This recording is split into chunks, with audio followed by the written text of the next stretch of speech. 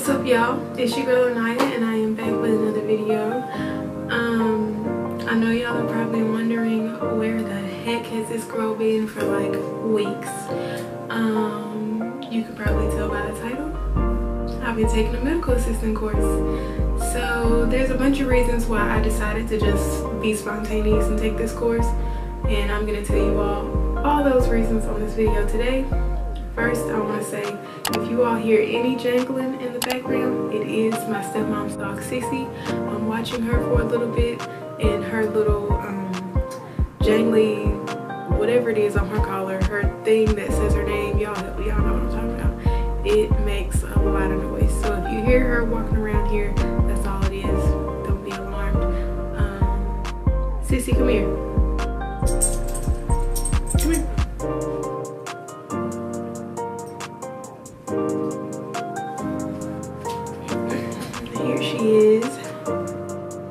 Sissy. So yeah, Sissy. And here's the little thing that makes all that dang noise. Okay. That's all I needed. Bye girl. So yeah. Um without further ado, we can just go ahead and get into the video.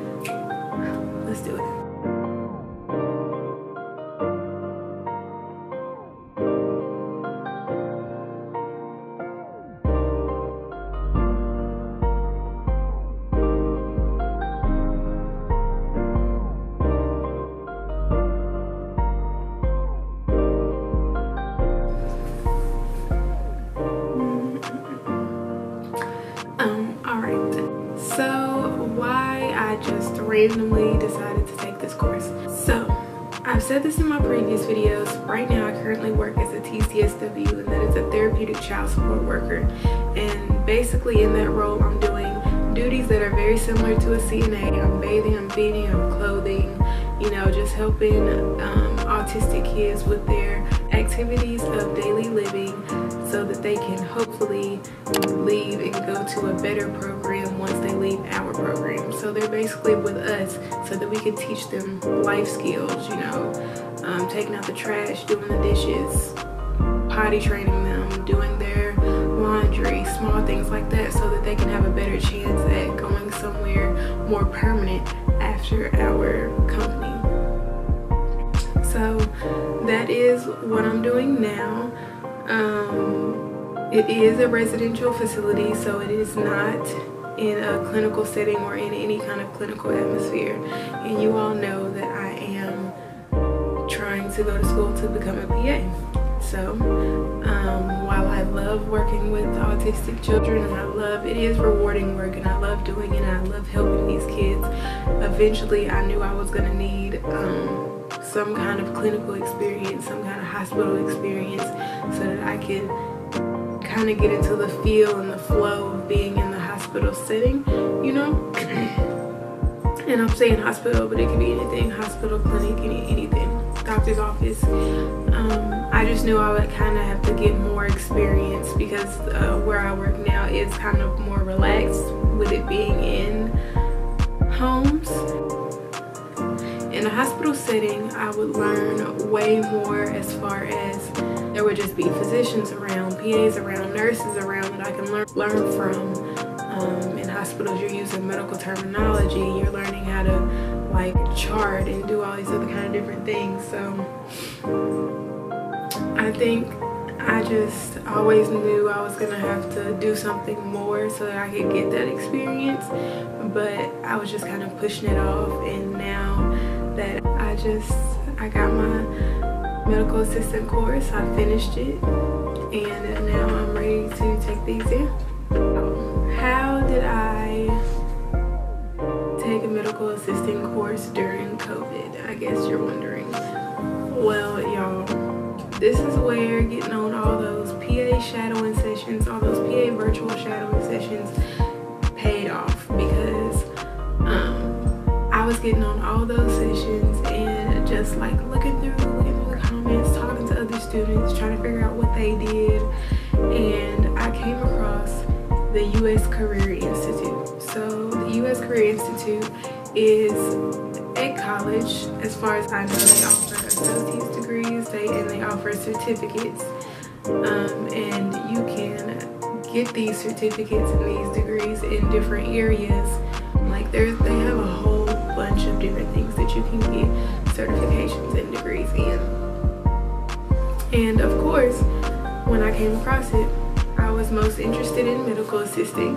Um, I feel like with medical assisting I can get you know that clinical experience while also gaining things that I can take into um, PA school potentially after I get done and get ready to apply and things like that. So I just got on the U.S. Career Institute's website and I looked up medical assisting. You know I was really hoping that it wasn't gonna cost much because y'all I ain't balling like we it ain't raining money over here. So that was really my biggest thing is that I didn't want it to cost an arm and a leg and I didn't want it to take forever because y'all know I'm a senior. I just finished my fall semester. I only have one semester of college left. So I was like I'm not trying to forever like I really just need something now that I can do now and I can be ready to start working like immediately. So I talked to a representative on the phone and she told me that it was completely self-paced. Because that was something I was a little bit worried about was the time because on their website it does say I think it says 4 to 12 4 to 7 months something like that to complete the program. And I was like oh god I hope it really doesn't take that long. So to the representative, she told me that it was completely self-paced. And when I told her my background, you know, with me being a college student, I'm a senior, I've done higher level coursework, you know, I'm kind of used to it. So I'm already in the flow of like doing schoolwork and turning it in. She was like, oh yeah, girl, you'll be fine. You should be able to do it like in no time. It shouldn't take you that long to get through the course since you already, you know, are used to higher education learning. And I was like, well, that's great. I was like, well, how how long do you think it'll take me to finish it? She was like, honestly, you probably could finish it in about four weeks. And y'all, that was a bit, okay?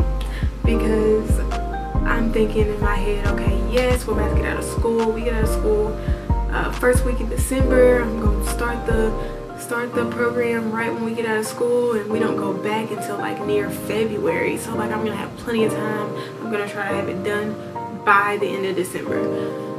So, so, so I'm done now and yeah, so I'm eligible to take the exam right away. Um, my certificate is coming in the mail. It's not an official certificate of like graduation, but it is a certificate like telling them that I finished the program so that I am eligible to sit for the exam. My official like diploma won't come after I pay the balance in full. I haven't told y'all how much it costs yet. Okay, so the total price of the medical assistant course was about mm, $1,200 I want to say y'all um, and I got it on sale. I will say that they were having this special, I think it was on Black Friday, and I did get the course on sale. I do recommend waiting for a sale. If you are going to take this course, I recommend waiting for a sale because the price, the full price without any sale or anything is $1,500. So, and it may not sound like a big difference to you, but I mean, if I can keep $300 in my pocket, then I'm gonna keep $300 in my pocket, you know? So, um, and it wasn't even like flat out 1,200. It was more like 1,100 and blah, blah, blah, something. I'm just rounding it up to 1,200 because that's approximately how much it was. Because I also got a discount for doing automatic payments. So the payments will automatically come out of my account every month. Um, yeah so and if 1100 sounds like a lot of money to you all just try and remember that medical assistant courses run for like four thousand dollars. Four four to eight grand is how much medical assistant courses run for. So the fact that I was getting this course for one grand was like a blessing because they're they're not cheap, you know. And I was looking everywhere. I was looking everywhere for a course that I could pay for, you know. Now I am one step closer to working as a medical assistant and I'm really excited about it. So, um, the payments, if you all were much the payments are, they are $79. So basically $80 a month are how much the payments are. You can always just comment down below and let me know and I can do a separate video laying out the course, what it entailed, how many lessons it had, was it hard, was it easy, was there labs, you know, we can talk about all of that if you all are interested. Um, you also can get on the U.S. Career Institute's website. I don't know what their website is called. I think it's like US Career Institute something, I don't know. But if you Google U.S. Career Institute, it will come up. So, yeah. So other than that, if you all want to know more about the course, let me know. And I'll definitely get that video going for you guys. Other than that, I don't have anything else to talk about on that front. Just wanted to tell you all where I've been and tell you all that it is still absolutely possible to get those hours during COVID. So this class is completely online and none of it is in person. And during COVID, that is pretty much perfect. So everything's all good on that front.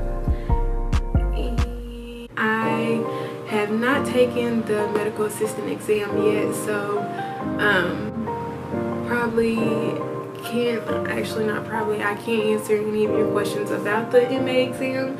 I can tell you that I'm planning on taking the CCMA exam by NHA, the National Healthcare Association. So after I do take the exam, I can give you guys a video on that if that's something that you would be interested in. But right now, I do not have answers or any tips or anything for that exam. So I'm trying to figure it out as I go. Go ahead and like, comment, and subscribe on this video. And stay tuned for more content coming soon.